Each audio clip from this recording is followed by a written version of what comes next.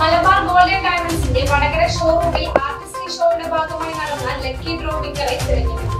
ആയിരത്തി തൊള്ളായിരത്തി തൊണ്ണൂറ്റി മൂന്നിൽ കോഴിക്കോട് ആസ്ഥാനമാക്കി ആരംഭിച്ച മലബാർ ഗ്രോ പത്ത് രാജ്യങ്ങളിലായിട്ട് ഇരുന്നൂറ്റി അറുപതോളം ഷോറൂമുകളുടെ പ്രവർത്തന ബന്ധാവിൽ ജനങ്ങളുടെ ഹൃദയം കീഴടക്കി മുന്നോട്ട് പോകുന്ന ഈ മലബാർ ഗോൾഡൻ.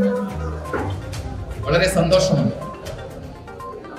അവർ നടത്തുന്ന പ്രവർത്തനങ്ങളെ നമ്മുടെ നാട് എന്ന ഹൃദയത്തിൽ സൂക്ഷിച്ചു വെച്ചിട്ടുള്ള ഒരനുഭവമാണ് മലബാർ ഗോൾഡൻ ഡയമണ്ട്സിന്റെ വടകര ഷോറൂമിൽ ഒക്ടോബർ ഇരുപത്തിരണ്ട് മുതൽ ഇരുപത്തിയഞ്ച് വരെ നടന്ന ആർട്ടിസ്ട്രി ഷോയുടെ ഭാഗമായിട്ട് ഷോറൂമിൽ നിന്നും പർച്ചേസ് ചെയ്ത കസ്റ്റമേഴ്സിന്റെ ലക്കി ഡ്രോ നവംബർ പത്തിന് വടകര ഷോറൂമിൽ വെച്ച് ബഹുമാനപ്പെട്ട വടകര നഗരസഭ വൈസ് ചെയർമാൻ സതീശൻ മാസ്റ്റർ നിർവഹിച്ചു.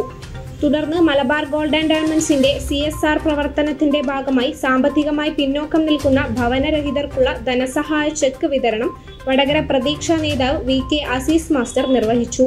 ലക്കി ഡ്രോ ഡയമണ്ട് റിംഗ് വിന്നറായി രജീഷ് കെ പി എ പ്രഖ്യാപിക്കുകയും ചെയ്തു. പ്രസ്തുത ചടങ്ങിൽ showroom head Ashmar T K manager Noushad Biju എന്നിവർ പങ്കെടുത്തു.